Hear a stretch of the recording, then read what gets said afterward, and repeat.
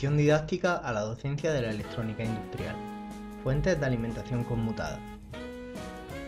Dentro del campo de estudio trataremos ahora el bloque 3, topologías básicas.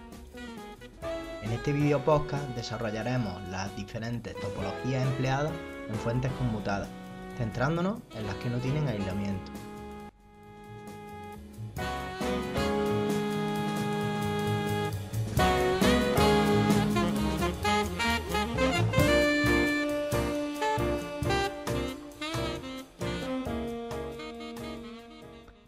Este tercer bloque lo hemos dividido en dos partes, las topologías básicas y las aisladas, por lo que en este video podcast nos centraremos en la primera.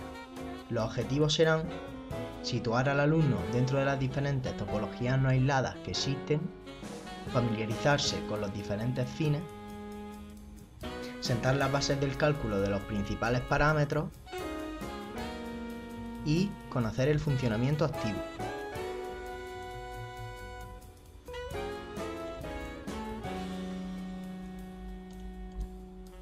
Contenidos que trataremos en esta primera parte serán una clasificación atendiendo a la entrada, distinguiendo entre los dos grandes tipos de convertidores que existen, básicos y aislados. Además, realizaremos otra clasificación atendiendo a la relación voltaje de salida-voltaje de entrada, que forma parte de las características del convertidor.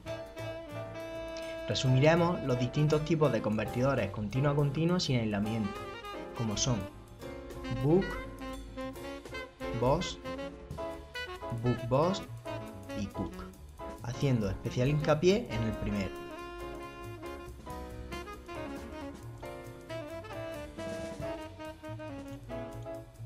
Podemos diferenciar dos grandes tipos de convertidores, sin aislamiento y con aislamiento.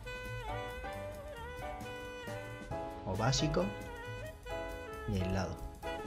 En este bloque vamos a estudiar los que están alimentados con corriente continua en la entrada sin regular.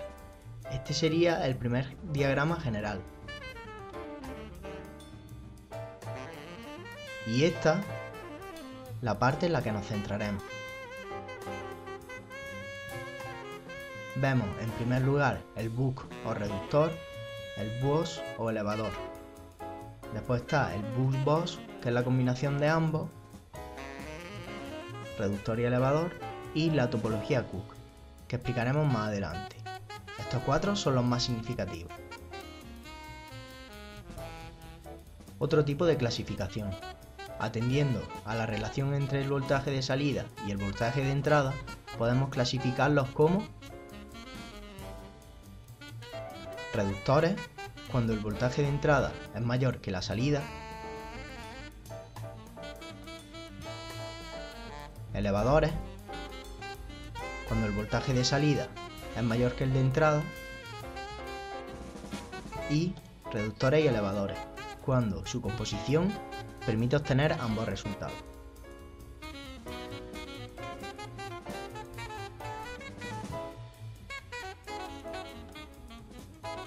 Hay muchos tipos distintos de convertidores continuo-continua sin aislamiento, entre los cuales, como dijimos arriba, destacaremos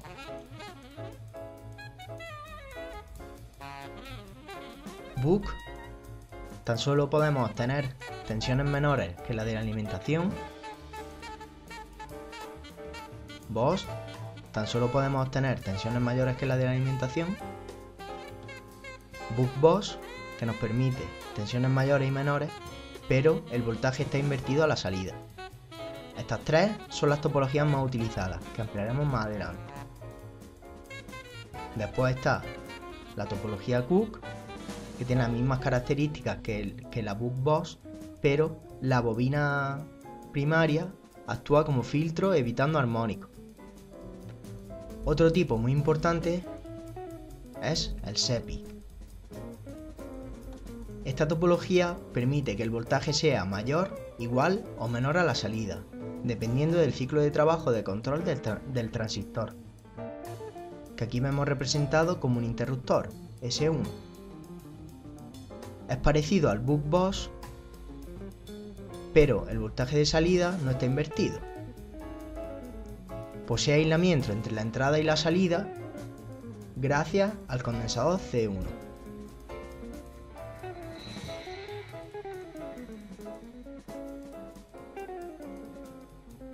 Book.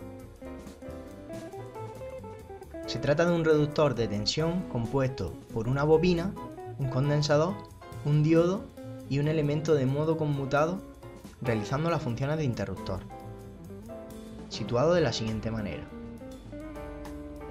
Como se muestra en la figura, S es un elemento que funciona como interruptor. D ha de ser un diodo con buenas características de conmutación.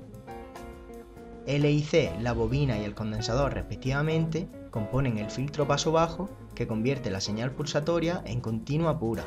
Y R es la resistencia de carga. A la salida del convertidor se obtiene una tensión continua VO que, presenta, que presentará un rizado más o menos importante en función de los valores de L y de C. El valor medio de la corriente de salida dependerá de la carga conectada. En conducción continua nos encontramos con dos secuencias de funcionamiento, según el, el estado del interruptor. ON cerrado a la izquierda, aquí vemos en verde la parte que funciona, y off abierto a la derecha. Que como podemos observar, la parte de la izquierda no, no funciona.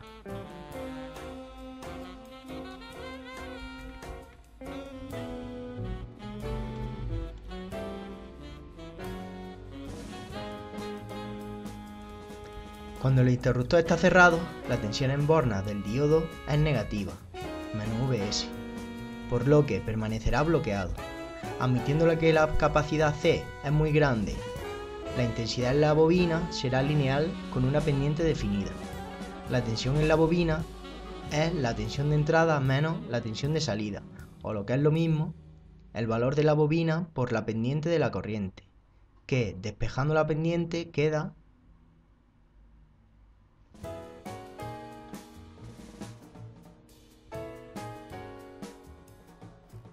Como la derivada de la corriente es constante y positiva, su comportamiento se considera lineal, por lo que la pendiente es igual al incremento de, intensidad en la bobina partido por el tiempo que está creciendo.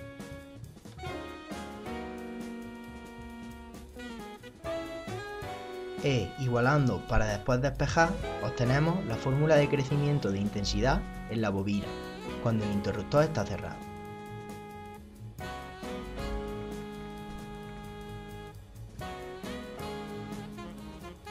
Cuando el interruptor está abierto, el diodo se polariza en directa para dejar pasar la corriente de la bobina, produciéndose la libre conducción. El condensador se descarga en la carga, por lo que la intensidad en la bobina es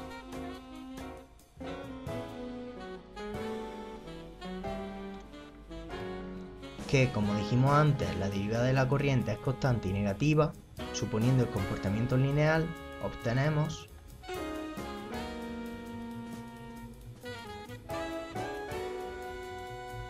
cómo se rige la intensidad respecto al tiempo. Igualando estas ecuaciones y despejando, obtenemos el decremento de la intensidad en la bobina.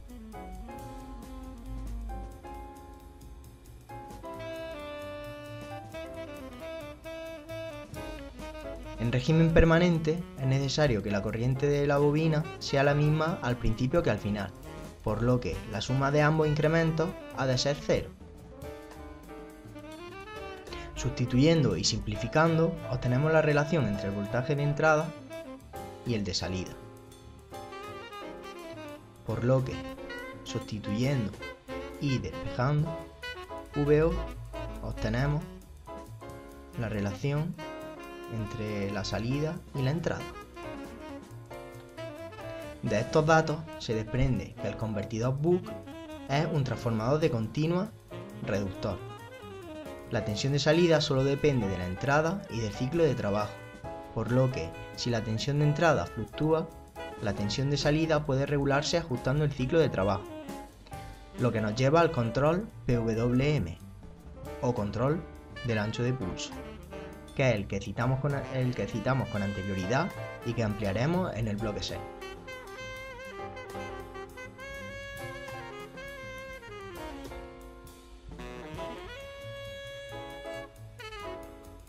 Consideraciones book.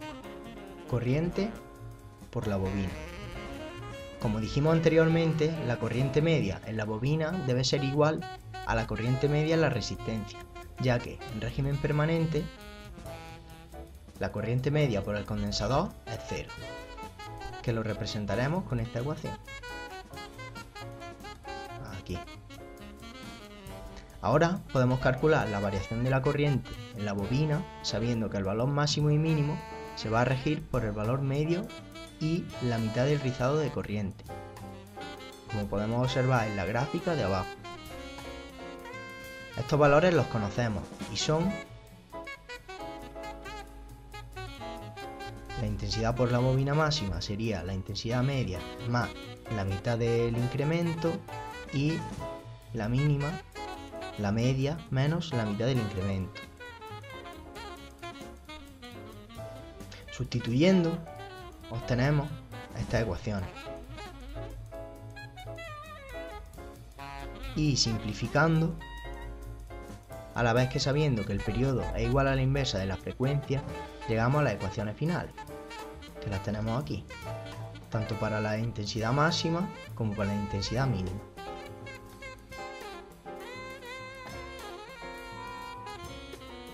Para que el análisis anterior sea válido, es necesario verificar que existe corriente permanente en la bobina. En el bloque 4, corriente continua y discontinua, realizaremos la comprobación pertinente en este caso.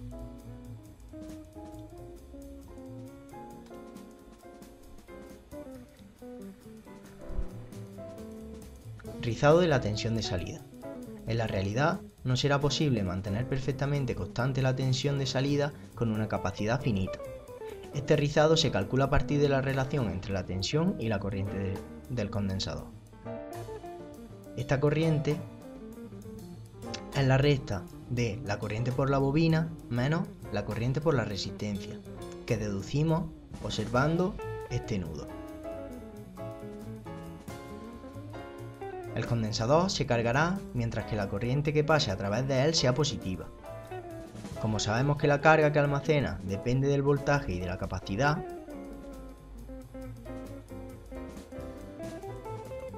despejando el voltaje obtenemos que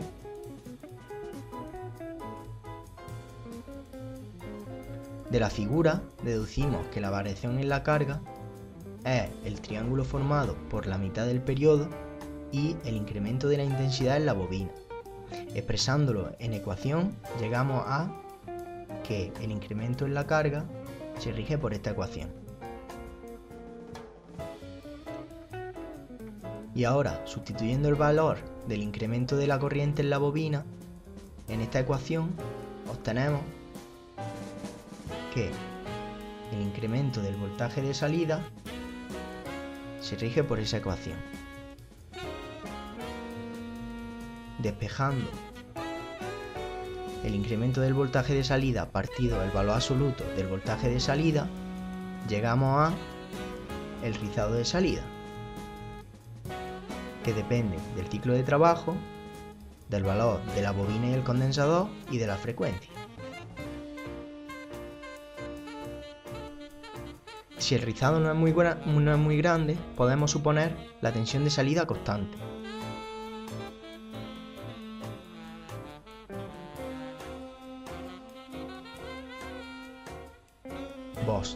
El convertidor BOS permite obtener tensiones de salida reguladas de valor estrictamente superior a la tensión de entrada, por lo que también se le conoce como elevador. El esquema correspondiente a esta topología de convertidor es el siguiente. S es un interruptor controlado que conmuta entre on y off, de acuerdo con un ciclo de trabajo que permite regular la tensión de salida. En conducción continua nos encontramos con dos secuencias de funcionamiento correspondientes a los dos estados posibles del interruptor.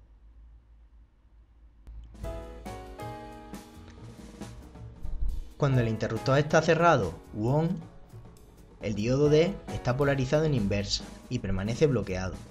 Aplicando la ley de Kirchhoff para las tensiones en la malla, que incluye la fuente, la bobina y el interruptor cerrado, obtenemos la siguiente ecuación. El recuadro rojo sería el periodo de funcionamiento. Durante esta secuencia, la inductancia almacena energía en tanto que el condensador mantiene la tensión de salida, siendo el ritmo de variación de la corriente constante, como en el caso anterior. Por ello, deducimos que el incremento de la intensidad de la bobina respecto al tiempo es igual al voltaje de entrada partido el valor de la bobina. Despejando el incremento de la intensidad de la bobina, obtenemos cómo varía la intensidad cuando el interruptor está cerrado. Ahí vemos la ecuación. Cuando el interruptor está abierto u off, la bobina fuerza la conducción del diodo y descarga sobre la salida la energía que, que había almacenado en la secuencia anterior.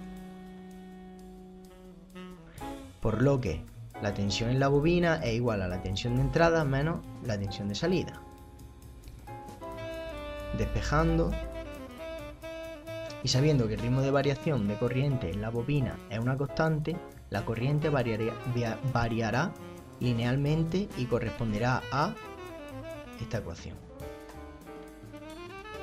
Que despejando el incremento de la intensidad en la bobina, obtenemos el incremento de la corriente en la bobina cuando el interruptor está abierto.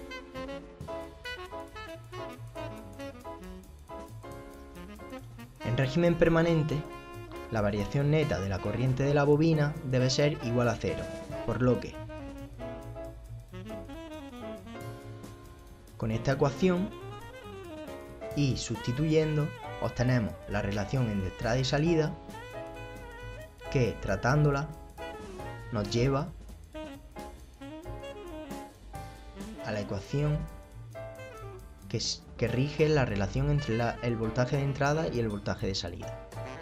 Por tanto, el VOS también puede ser interpretado como un transformador de continuo, en este caso elevador, cuya relación de transformación sería 1 menos D.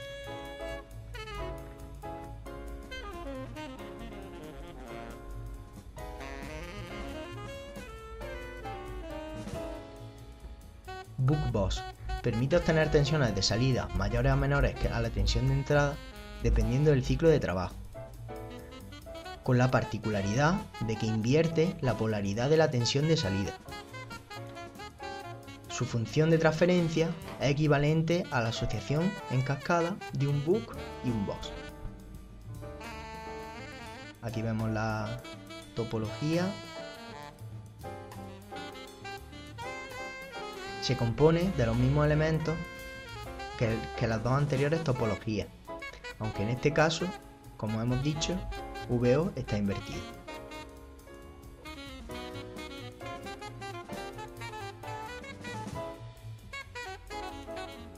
Cuando el interruptor está cerrado, la bobina almacena energía a partir de la fuente de entrada, mientras que el condensador mantiene la tensión de salida.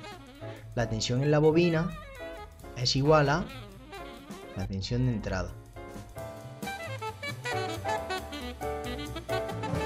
Que igual a la bobina por la variación de la intensidad neta. El ritmo de variación de la corriente en la bobina es una constante, por lo que la corriente en la misma aumenta linealmente, siguiendo la siguiente ecuación. Despejando el incremento de la intensidad en la bobina, obtenemos esta ecuación, que corresponde a cuando el interruptor está cerrado.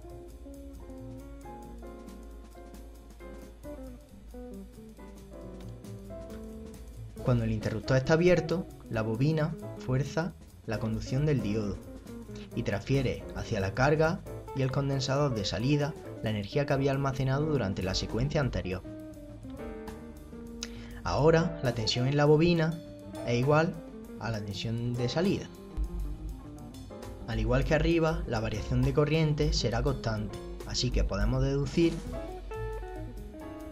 que el incremento de la intensidad en la bobina partido el incremento de tiempo es igual a la tensión de salida partido la bobina, el valor de la bobina.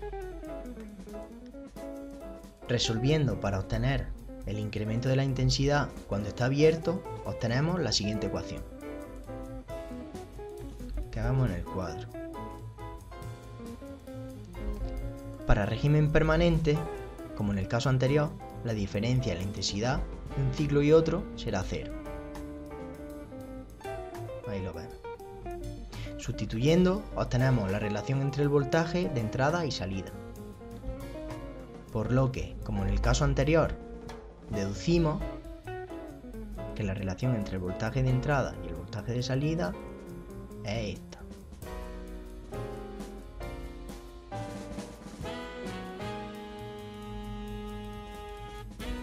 Pasamos ahora a la topología Cook.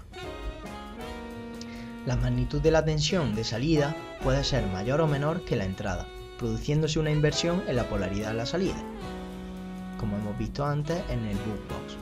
La ventaja de la topología Cook se basa en que la bobina de entrada L1 actúa como filtro, impidiendo la existencia de un gran contenido enarmónico a la salida.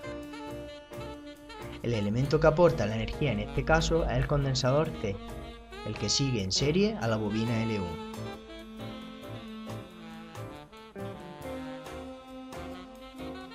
Por ello, analizaremos los distintos estados de la intensidad en el condensador. Para realizar los cálculos supondremos que las capacidades de C y C0 son lo suficientemente elevadas para poder considerar VC y VO constantes.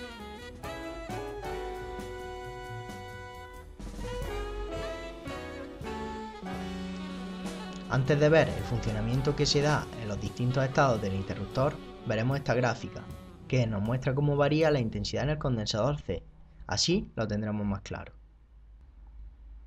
Cuando el interruptor está cerrado, la inductancia L1 y L2 fuerzan la conducción del diodo. L1 entrega la energía que había almacenado durante el T-on al condensador C, mientras que L2 se descarga sobre C0 y la carga. La corriente decrece en ambas bobinas. Cuando el interruptor está abierto, L1 almacena energía a partir de la fuente de entrada, en tanto que C se descarga sobre la salida y la inductancia L2. Como resultado, la corriente es creciente en ambas bobinas. La tensión media en el condensador C se calcula aplicando la ley de Kirchhoff para la tensión en el, bucle exterior. La tensión media en la bobina y la intensidad media en los condensadores son nulas para régimen permanente, por lo que la tensión en el condensador es igual a la tensión de entrada menos la tensión de salida. La potencia absorbida por la carga es igual a la potencia entregada por la fuente, puesto que no hay pérdida. Aquí lo vemos reflejado en la ecuación. Como la corriente media en los condensadores es cero y teniendo en cuenta que el interruptor estará cerrado un tiempo de t y abierto un tiempo 1 menos d por t, obtenemos esta ecuación, que sustituyendo nos lleva a esta ecuación. Despejando las intensidades y dejando a un lado el ciclo de trabajo, obtenemos que la intensidad en la bobina 1 partido la intensidad en la bobina 2 es igual a menos el voltaje de salida partido el voltaje de entrada. Aplicando balance balance de potencia, logramos deducir la relación entre la tensión de salida y la tensión de entrada, que es esta ecuación.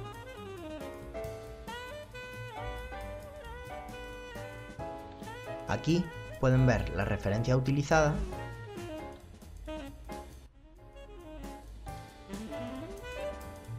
así como las licencias de la imagen.